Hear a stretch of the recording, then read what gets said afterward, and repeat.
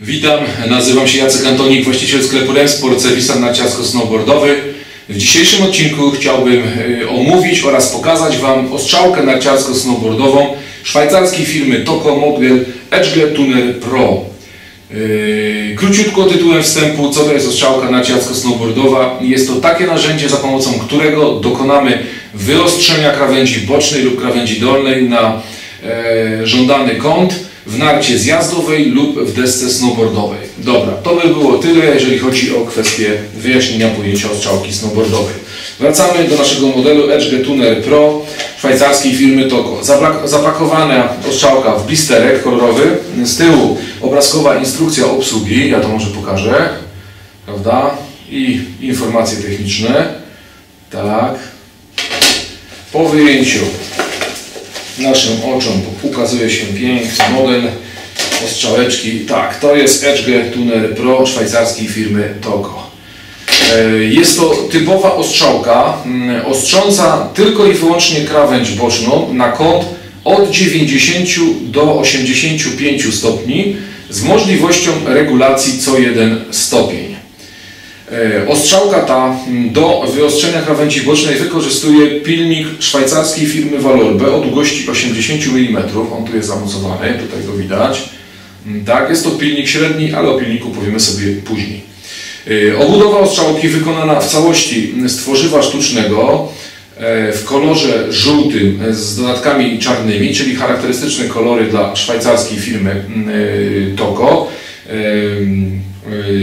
Na płycie, można powiedzieć, regulacyjnej znajdziemy cztery ułożyskowane kółeczka, prawda, te kółeczka, e, które ułatwią nam poruszanie się ostrzałki po ślizgu, ponieważ em, e, kółeczka łożyskowane mają mniejsze, e, mniejsze e, tarcie, e, czyli nie- mniejszy współczynnik tarcia. E, Dobra, teraz tak, elementem regulacyjnym e, jest e, te żółte kółko z takim znacznikiem. To jest nasz element regulacyjny, za pomocą którego będziemy dokonywali zmiany kąta. W środku mamy, ja może troszkę powiększę, w środku mamy takie nacięcie, tak, jest to nacięcie, w które będziemy wkładać albo monetę, no, albo jakiś inny przedmiot, który, za, za pomocą którego dokonamy zmiany. Ja tutaj wykorzystam akurat podkładkę, prawda? I teraz tak, mamy, mamy mm, w tej oszczałce aktualnie ustawiony kąt 90 stopni. Proszę zobaczyć, czy znacznik jest ustawiony. Gdybyśmy na przykład chcieli dokonać zmiany o 1 stopień na 89, to musimy włożyć e, nasze, naszą monetę w to wycięcie i przekręcić mm, prawda, zgodnie z kierunkiem wskazówek ruchu zegara o, o, jeden, o jeden trybik, prawda, jest 89. Gdybyśmy chcieli zrobić 88, prawda, powtórzymy czynność, proszę, jest 88 i tak dalej, i tak dalej, aż do 85 mm, stopni. Yy, Od góry mm, jest mm, czarne pokrętełko, które służy nam do mocowania tego pilnika. Jeżeli ja sobie je troszkę poluzuję, prawda, o, proszę, wtedy mogę wyciągnąć nasze narzędzie skrawające, a skoro już przy nim jesteśmy, no to tak jak powiedziałem, jest to pilnik szwajcarskiej firmy Valorbe o gradacji średniej, pilnik serii iSCAD.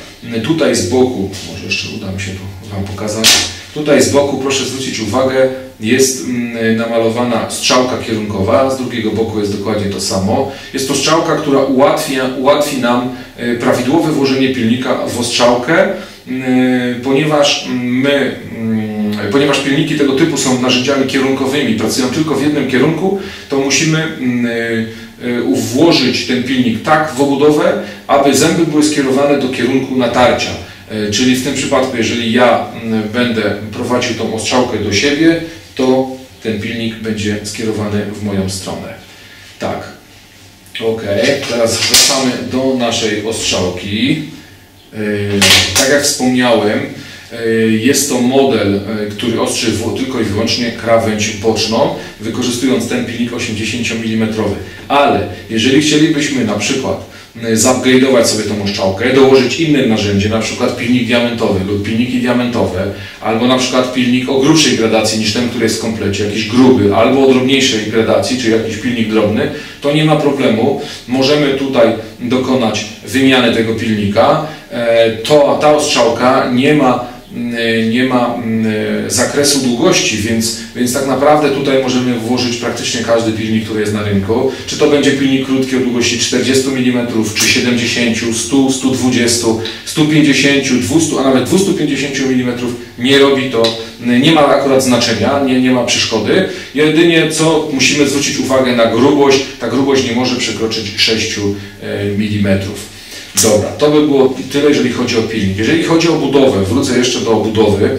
E, tak jak wspomniałem, wykonana w całości z tworzywa sztucznego. E, charakterystyczny kształt u góry taki mm, jest e, wygięty, czy można powiedzieć bardziej ergonomiczny, prawda? Może, można powiedzieć, że mm, rękę, którą położymy którą, i złapiemy sobie tą strzałkę, ona dosyć pewnie, precyzyjnie ją łapie.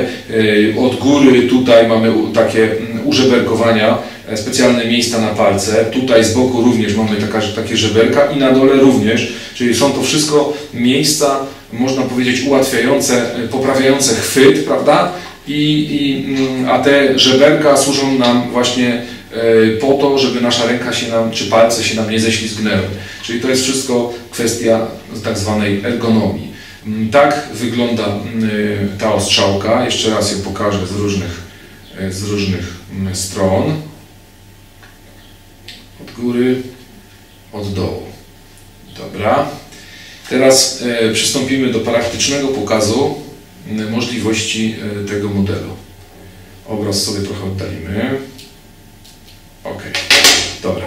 E, na początku wspomniałem, e, że e, jest to strzałka narciarsko snowboardowa, dokładnie bo za pomocą tego modelu możemy wyostrzyć narty zjazdowe, jak i deskę snowboardową. Ja akurat mm, pokażę Wam e, w tej chwili, jak wygląda ostrzenie krawędzi bocznej e, w narcie zjazdowej, mm, ale mm, dokładnie tak samo będziemy postępować podczas pracy e, przy desce snowboardowej. Różnica będzie taka, że będzie po prostu zastosowane inne imadło, imadło snowboardowe, bo tutaj akurat ja wykorzystuję imadło narciarskie, bo jest to bardzo ważny element Y, bardzo ważny element y, prawidłowego wykonania ostrzenia, prawda? Y, jest to imadło, tutaj akurat wykorzystuję do pokazu imadło niemieckiej firmy Kunzmann model Profi Quick Plus o specjalnym charakterystycznym montowaniu na sznurek, co zaraz Wam pokażę.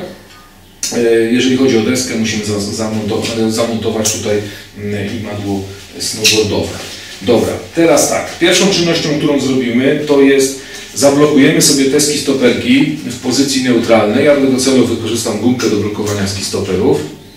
O, proszę.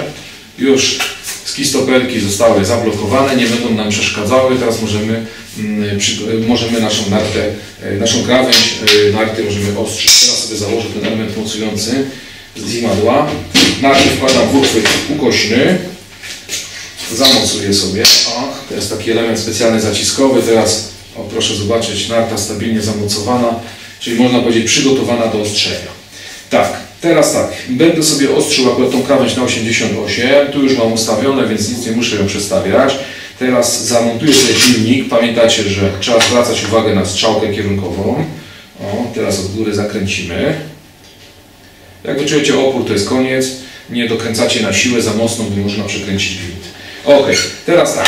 Yy, kółeczka będą stykały się bezpośrednio ze ślizgiem, a mm, krawędź, a pilnik będzie oparty na krawędzi, prawda? O, tak to wygląda.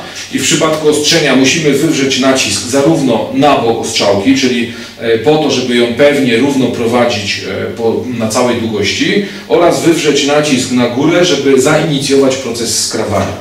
I wygląda to tak. O, ułożę sobie rękę, prawda? O. przesunę. Proszę. I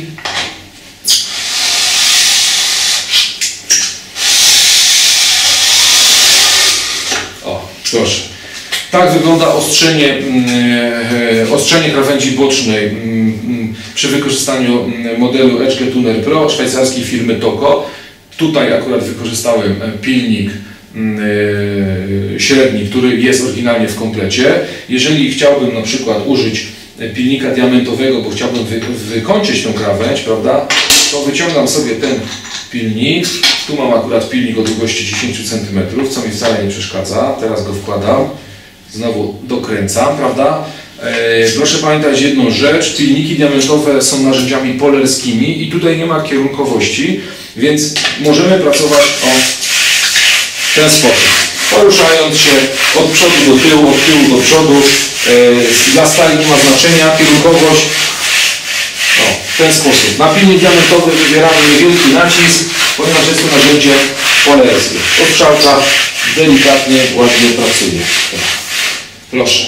Tak wygląda e, praca stacjonarna, można powiedzieć, przy wykorzystaniu imadła, ale jeżeli byśmy byli gdzieś tam na wyjeździe, prawda, możemy sobie nartę czy deskę szybko podostrzyć, yy, wykorzystując do tego celu właśnie pilnik diamentowy. I to jest tak, możemy sobie naszą nartę czy deskę oprzeć na jakichś tam elementach blatu, krzesła czy, czy czymkolwiek, prawda? I to samo o, w ten sposób możemy robić. Pamiętając o tym, żeby zawsze na wyjazdy zabierać ze sobą po prostu taką gumkę do blokowania skistopu, bo ona nam ułatwi po prostu pracę.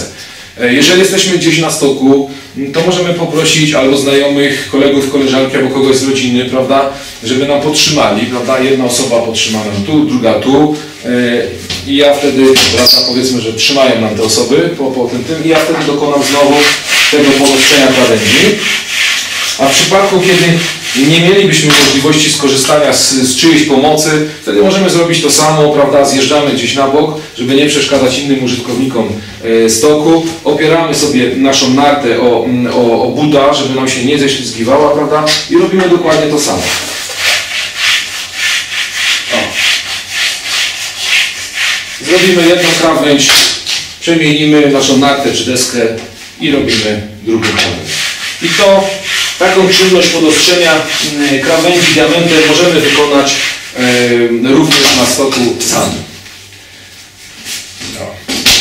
Dobra, i to by było tyle, jeżeli chodzi o praktyczny pokaz możliwości mm, ostrzałki Edge Tuner Pro szwajcarskiej firmy Toko.